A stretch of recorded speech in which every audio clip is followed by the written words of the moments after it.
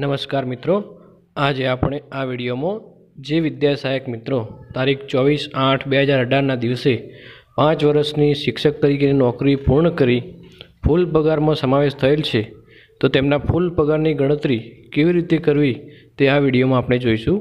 અને જો હા, આ વિડીયોમાં જોતા પહેલાં તો મેં મારી ચેનલને જો મારી ચેનલને સબસ્ક્રાઈબ ના કરી હોય, તો જમણી બાજુ સબસ્ક્રાઈબનું જ્યાં બટન છે, ત્યાં ક્લિક કરશો અને બાજુમાં બેલનું નિશાન આવશે, ત્યાં પણ ક્લિક કરશો. જો આમ કરવાથી મારા દ્વારા જે કોઈ વીડિયો અપલોડ કરવામાં આવે, તો તમને તમારા મોબાઈલમાં નોટિફિકેશન દ્વારા મળી રહેશે.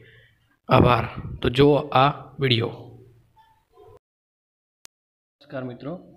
હવે પૂરા પગારમાં આવેલ વિદ્યાસહાયક મિત્રોની પગારની ગણતરી વર્ષ બે હજાર અઢાર હાલ જે મિત્રો ચોવીસ આઠ અઢારના દિવસે તેમની નોકરી પાંચ વર્ષ પૂર્ણ કરીને ફૂલ પગારમાં જે સમાવેશ થાય છે, તેમના ફૂલ પગારની ગણતરી કેવી રીતે થાય છે તેની સમજ માટેનું આ પગારની ગણતરી કરવામાં આવી છે. જે આપ ધ્યાનપૂર્વક જોશો તો સમજણ પડી જશે સૌથી પહેલાં જોઈએ તો સેવન્થ પે, સેવન્થ પેના મેટ્રિક્સ પ્રમાણે સૌપ્રથમ શરૂઆતનો બેઝિક થાય છે આપણો પચીસ હજાર પાંચસો જે બેઝિક થાય છે. પચીસ હજાર પાંચસો શરૂઆતનો બેઝિક છે. જેમ જેમ જુલાઈ મહિનો આવે તેમ નવો ઇન્ક્રીમેન્ટ બેસતો જાય છે.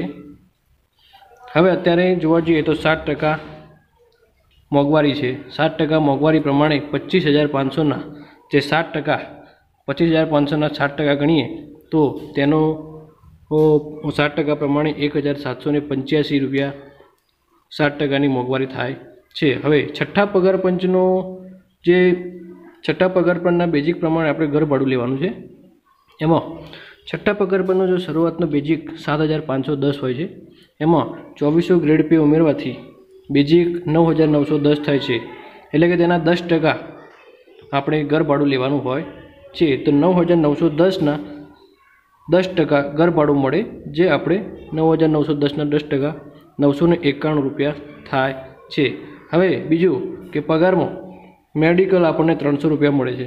દરેક જણને ફૂલ પગાર નોકરી મળે ત્યારે ત્રણસો રૂપિયા મેડિકલ મળે છે. હવે આ બધાની જે ગણતરી કરીએ, પચીસ હજાર પાંચસો વત્તા સત્તરસો પંચ્યાસી વત્તા નવસો એકાણું વત્તા ત્રણસો. તો કુલ પગારની ગણતરી એટલે કે ગોરોસ ટોટલ અઠ્યાવીસ હજાર પાંચસો ને છોતેર રૂપિયા થાય છે.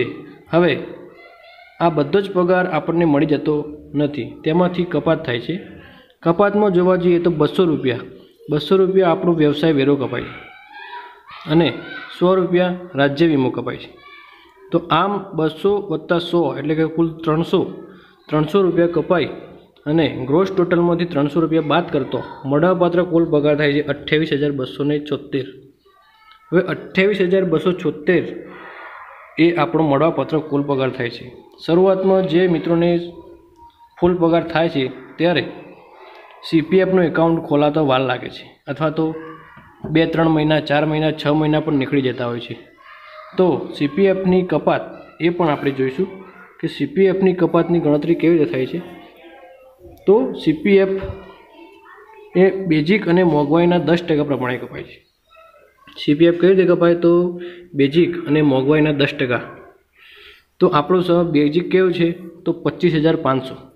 કયું છે, ભાઈ, આપણો બેઝિક પચીસ હજાર પાંચસો છે, વધતા એક હજાર સાતસો ને પંચ્યાસી જે છે એ મોંઘવારી છે, સાત ટકા પ્રમાણે. એ મોંઘવારી, એ બંનેનો સરવાળો કરવા જઈએ તો સત્યાવીસ હજાર બસો ને પંચ્યાસી રૂપિયા થાય છે. હવે, આ સત્યાવીસ હજાર બસો પંચ્યાસીના દસ ટકા આપણે લઈએ તો બે હજાર સાતસો અઠ્યાવીસ પોઈન્ટ પાંચ એટલે કે બે હજાર સાતસો ઓગણત્રીસ રૂપિયા થાય છે. આ સીપીએફની કપાત છે મિત્રો. હવે આ સીપીએફ આપણા મળવાપત્ર કુલ પગારમાંથી, મળવાપત્ર કુલ પગાર આપણે નીચે પ્રમાણે થયો અઠ્યાવીસ હજાર બસો છોતેર. હવે આ અઠ્યાવીસ હજાર બસો છોતેરમાંથી બે હજાર સાતસો ઓગણત્રીસ બાદ કરીએ તો આપણને પચીસ હજાર પાંચસો ને સુડતાલીસ રૂપિયા પગાર મળવાપાત્ર થાય છે. હવે આ આખી ગણતરી મેં તમને બતાવી છે. હવે ચોક્કસ તમને ખ્યાલ આવી જશે કે ફૂલ પગારમાં મિત્રો આવતા હોય, તેમની પગારની ગણતરી કેવી રીતે કરવી તેનો આ વીડિયો છે. આભાર મિત્રો.